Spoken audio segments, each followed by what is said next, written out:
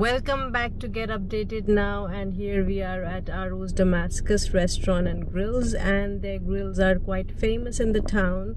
So let's see what they have here and this is the way to their family room. So I'll go there and I'll show you how it is and um, we'll try their grills I guess they're the best. So let's go inside so here we are going towards the family entrance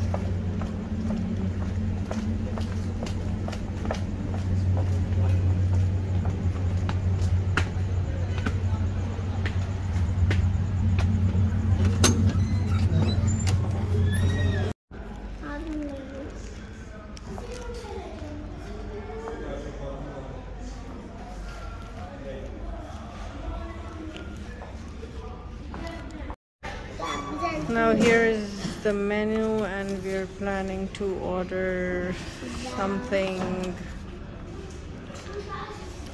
something good like probably this because this is like mixed grill where you get a lot of options in one platter.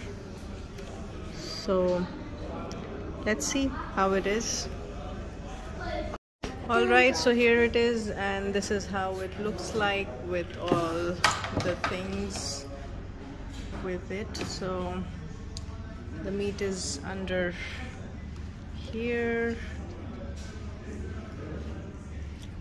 There are different types of um, grills in the platter. So this is like kebab chicken and meat and then they have uh, these here.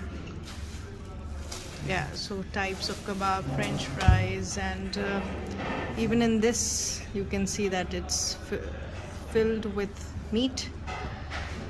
So yeah this is how it is here. I hope you liked the video. Thank you for watching